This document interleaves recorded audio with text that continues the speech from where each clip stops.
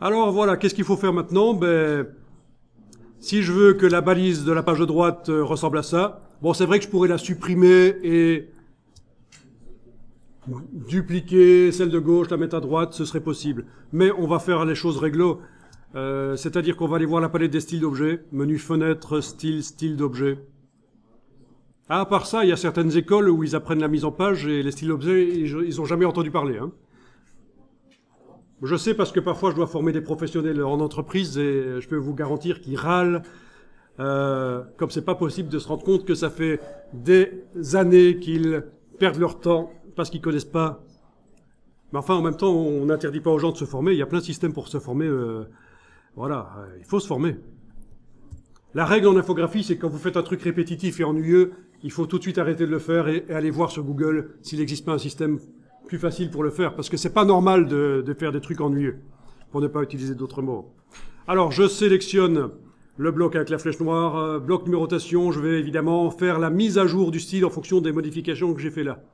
Donc, redéfinir le style. Voilà, nickel. Le petit signe plus à côté de bloc numérotation a disparu. Le style décrit correctement tout ce qui est là. Il me reste à aller sur la page de droite, sélectionner le bloc. Ah bah c'est déjà le cas. Il n'y a pas de problème, il utilise déjà le style, donc voilà, nickel. Bon, juste quelque chose qui ne fait pas partie du style, c'est la dimension du bloc, donc je sélectionne le bloc, et on avait mis 7, 7, je pense. Hein. Alors 7 en largeur, 7 en hauteur, touche tabulation, voilà. Au niveau de la position, est-ce qu'il est à la même hauteur que l'autre? Non? Faut que je vérifie, je suis sur la page de gauche, quel est le positionnement Y? 253,366. C'est bon? Ah ben parfait. Même chose pour celui-là alors. Voilà. Position Y. Voilà, c'est la distance par rapport au point supérieur gauche de la page. Bon, excellent. Donc maintenant, si on va sur toutes les pages, en principe, on a cette numérotation qui n'est pas encore finie. Elle n'est pas nickel. Euh, faut bien comprendre qu'elle n'est pas nickel, mais euh, voilà, euh, il faudrait la mettre plutôt en coin de page. Voilà. Elle va sur toutes les pages, y compris sur les images. Voilà, étant donné que dans la palette des calques, le calque numérotation se situe au-dessus, et c'est fait exprès, au-dessus des calques qui contiennent les images et les textes, et les images qui habillent, ben, ce qui se passe, c'est que il s'applique sur les images là. Donc c'est un peu pourri. Voilà. C'est un peu ennuyeux. Ben oui, c'est comme quand vous avez une publicité dans le magazine, il ne faut pas qu'il y ait de la numérotation qui vient dessus parasiter. Ah oui, tiens, il y a mon texte là, il faudrait le repositionner, parce que par rapport au museau du, de la bestiole immonde, là. Ok. Alors, je vous montre juste ici, page 19 par exemple, si je voulais que le numéro n'y soit pas, il va falloir le déverrouiller. Mais non, on va le supprimer carrément.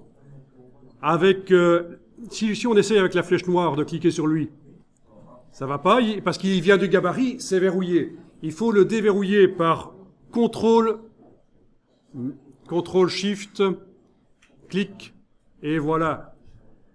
Et vous pourriez enfoncer la touche suppression, mais moi, ce que je vous conseille de faire peut-être, c'est d'aller dans le calque de numérotation, dire que vous enlevez l'œil en face de ce bloc de texte, il n'apparaît plus. Pourquoi? Ben Parce que si jamais à un certain moment je change la mise en page à cet endroit-là, je vais pouvoir faire réapparaître facilement la numérotation. D'accord? Donc plutôt que d'enfoncer la touche suppression, le bloc que j'ai déverrouillé là, j'enlève l'œil tout simplement. Donc c'est CTRL majuscule, clic pour le... Mais attendez un peu parce que ça change aussi sur... Non, non, euh, euh, oui, ça change sur toutes les pages, vous avez peut-être raison. Non, juste sur cette page-là? Oui, juste sur cette page-là, oui. C'est à l'intérieur, c'est le bloc de texte de cette page-là sur laquelle on est en train de travailler qu'on modifie.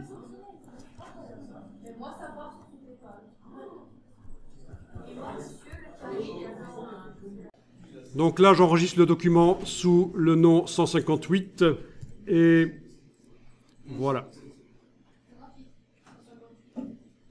Bon, si vous avez loupé une étape, c'est pas grave. hein. L'essentiel, c'est de garder la progression de tout ce qu'on a fait euh, pour différentes raisons déjà expliquées précédemment.